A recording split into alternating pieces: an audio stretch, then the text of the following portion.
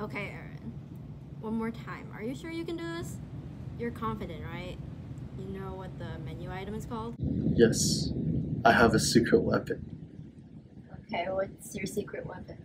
Well, I am currently searching through menus to see which one has the vibes I'm looking for. yeah, not good. Aaron, is the secret weapon you? No, no, no, no, no, no. Welcome to After Hours with the Visual Studio team. And today we're going to show upcoming improvements to feature search in Visual Studio. It takes your search query and uses GitHub Copilot to elaborate on instructions, help you find settings, and more. because we as developers all know that Visual Studio is quite powerful, and sometimes you just forget what a menu item is called. Uh, new capabilities get added to new versions, and there's always maybe a better way uh, to complete a task in Visual Studio. Right. But with this being feature search, which is already an empty text box, sometimes text boxes that you don't know how to use or aren't giving the results you're looking for can be a little bit intimidating. Yeah, absolutely. Like, do I talk to it in full sentences?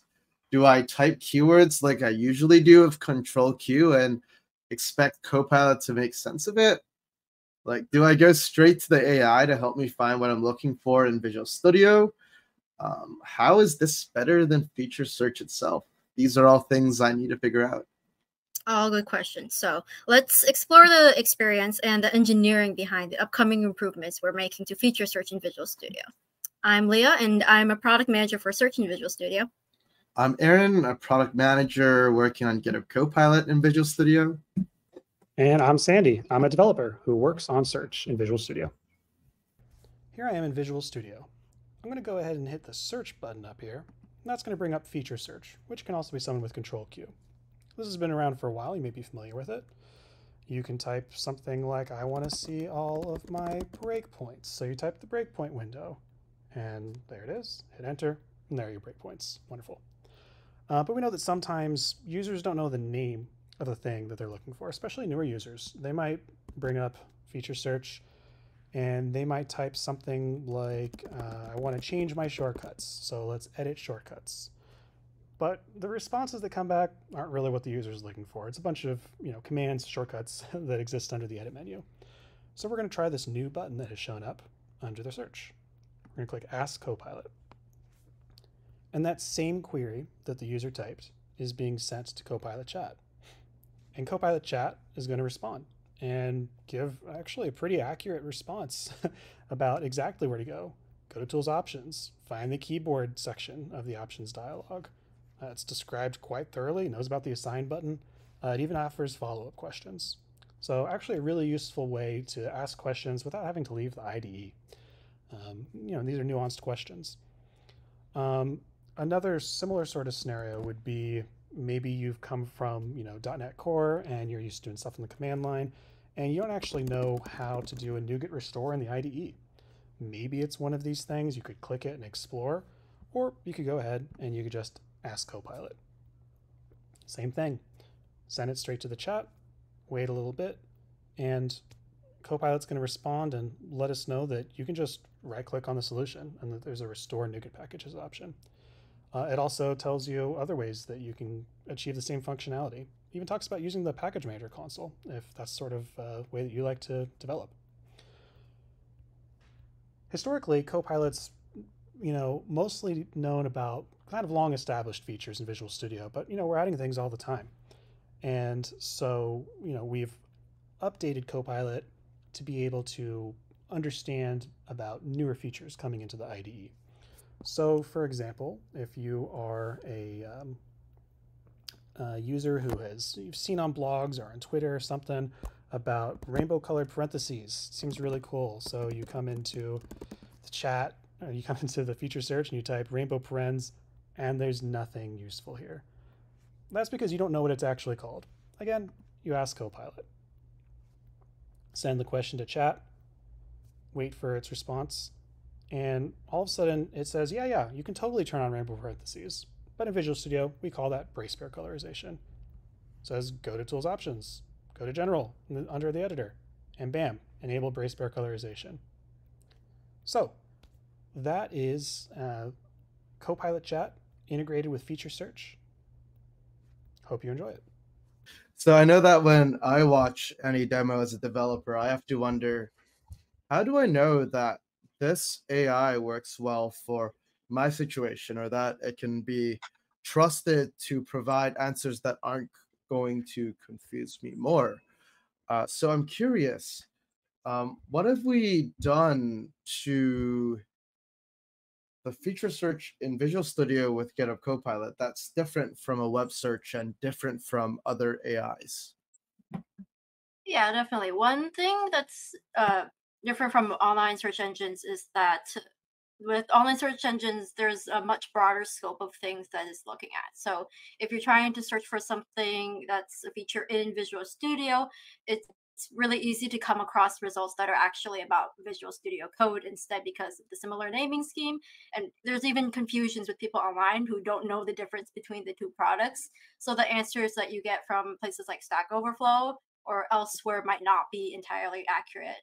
And there's also a lot of uh, out of date information online, which we don't have in the model as much because we're able to provide it with up to date information about what are the features that are currently available in the version of Visual Studio that you're currently using. Yeah, and because of that uh,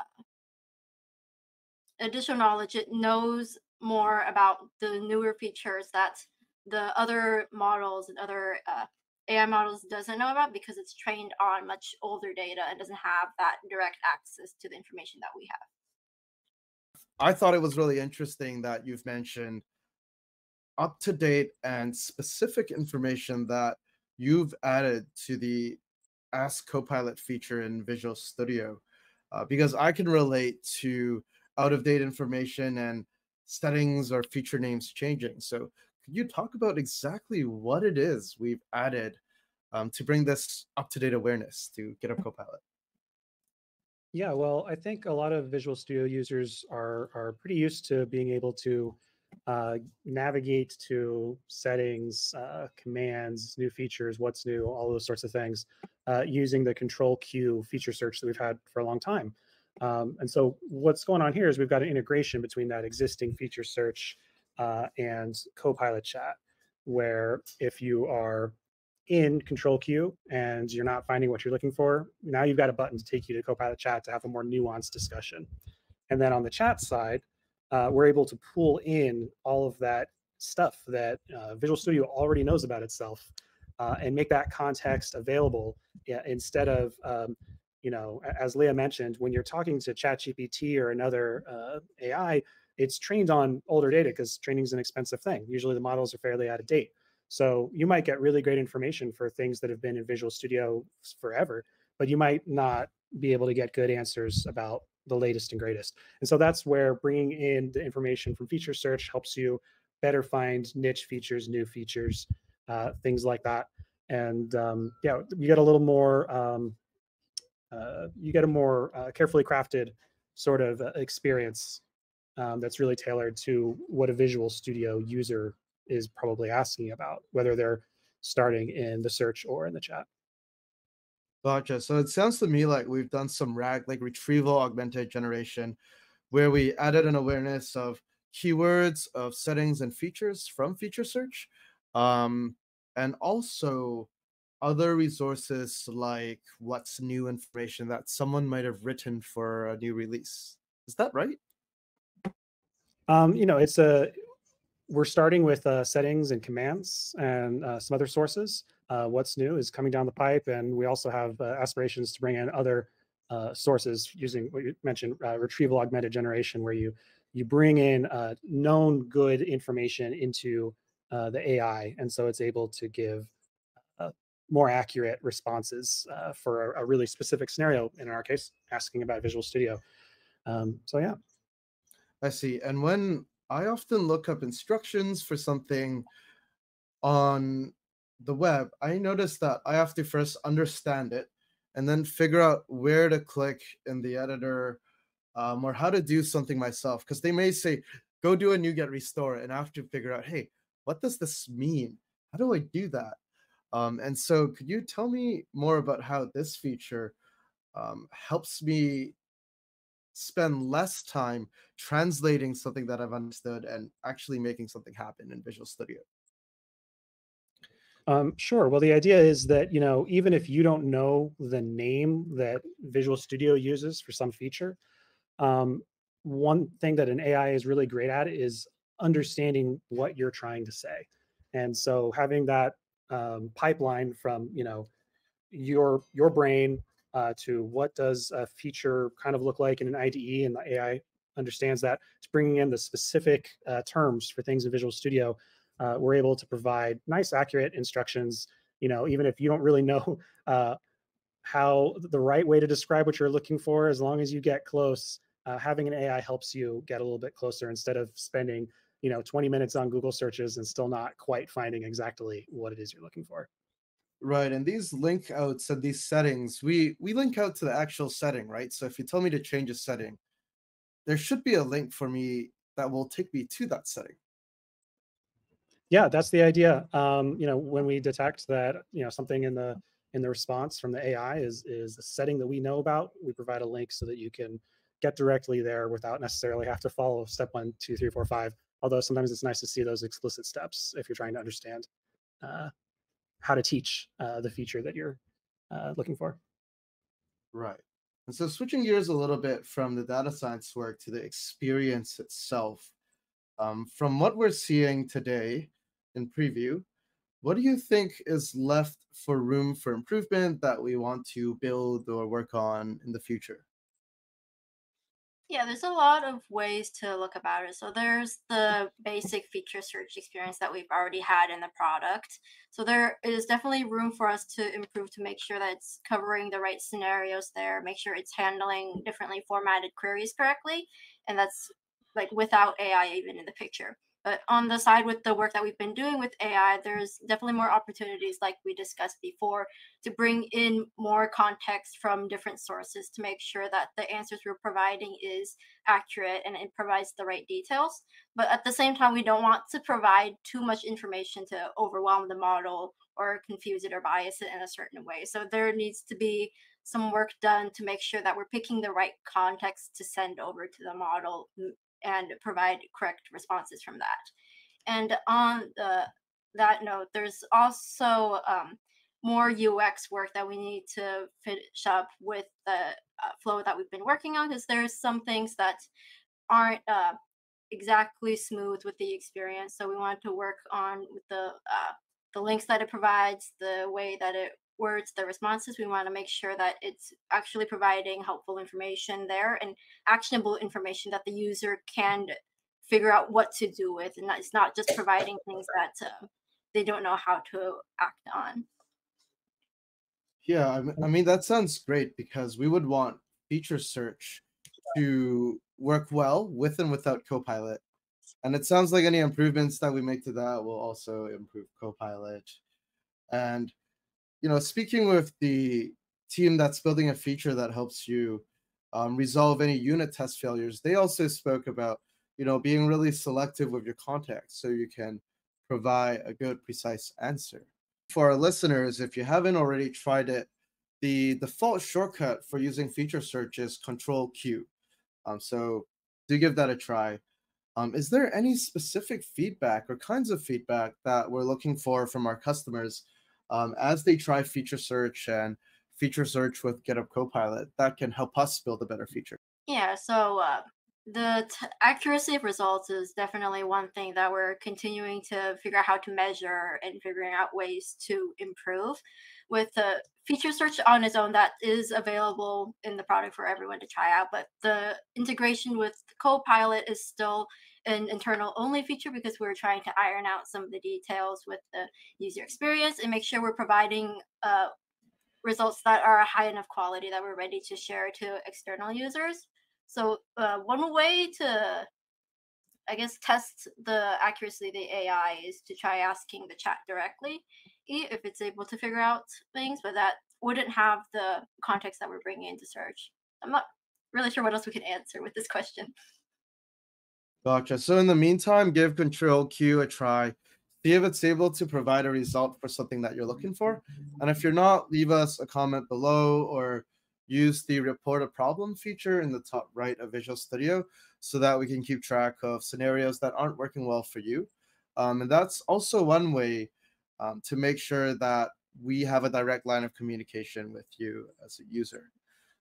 The thing that we'll do is that if you subscribe, um, or if you take a look at the description in this video, uh, once we do have um, what we demoed available for you to try, we will have the instructions in the description.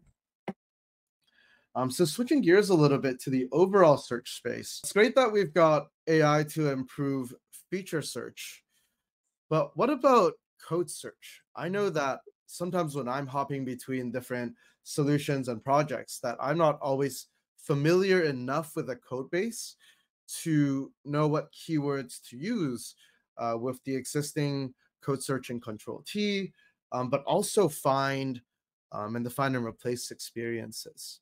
Um, so could we speak to perhaps any thing that we're thinking about with la natural language code search? Yeah, definitely. For our team specifically, since we own a lot of those search features like the uh, code search experience and find in files, we're sort of actively thinking about ways that AI might be able to fit in and help users find the answers that they're looking for without having to do a normal keyword search. Because there are some scenarios that are better formed as a natural language query or are sort of too complex to figure out a keyword search or even a regular expression query to find the answers that you need. So we definitely want to look into that space in the future and explore what technology is available to help provide those answers and figure out the right user experience for it as well because we don't want to interfere with the existing scenarios that people have grown really accustomed to with find in files and the existing code search. So we need to um, sort of ideate, do some more investigation work on our end to figure out what's the right way to bring in these sorts of uh, AI powered experiences without to, taking away from the existing keyword searches today. Gotcha. So it sounds like the keyword searches are very well loved and that we are thinking about natural language code search. But if we do it, we have to make sure that um, it doesn't disrupt the current experience while feeling in the user's flow. And what about some of the other experiences outside of Control T? Um, what's happening there, Sandy? Yeah, so I mean, there are other places where natural language search is becoming a part of the Visual Studio experience. So, uh, for example, in in Copilot Chat, you can you know make a direct reference to your solution, uh, and this works uh, across languages. Um, the context from your solution is kind of brought in when you make a query uh, to Copilot. And so you're able to ask a question like, uh, where's the code that processes uh, customer invoices? Um, and you know that might that code might have an obscure name, and you're not sure how to find it in Control T because you're new to the code base. But by asking a, a, a contextual question like that, and by bringing in the, uh, that reference to the solution, uh, the AI is often able to help and and not tell you not only like where it is, but to give you a nice description of how this code works and what are the methods and other types that are involved. Right. And even though when we think about code navigation, we have find all implementations, I feel like there's still a gap where, hey, I'd like to find all my synchronous methods because I'd like to refactor them to be async. Or maybe I'd like to find all asynchronous methods that don't take a cancellation token. Or maybe something as simple as, hey, where are the various authentication handlers because I want to understand the different flows of authentication token in my code base. That we have started releasing internally, and we're going to be asking people to dog food it soon to help us uh, build that to uh, quality and make sure we're getting it to a point where it is actually ready for users to start consuming and providing feedback to. As as you know, we still need to do a lot of work to make sure that the model is providing accurate responses, that it's utilizing the context that we're providing correctly, and that the user experience for um, handling responses is smooth and seamless as well, so that users are actually able to act on it and not aren't only provided with a response that they don't know what to do with. Right. I feel like one of my frustrations with using search engines or other forms of AI is some when it gives you an answer that's actually inaccurate you burn cycles trying to figure out whether you are wrong or right. Um, but in the meantime, since this uses feature search, would it be valuable for users to provide feedback on feature search scenarios? So control Q uh, that doesn't give them the answers or settings that they're looking for. Yeah, definitely. We're actively working on building test cases and exploring different scenarios to make sure that the work that we are doing is actually impactful and is actually solving real customer problems. So, any feedback you can provide about what scenarios aren't covered today in the IDE or scenarios that you would like to see covered would be really helpful for helping us determine what to do next.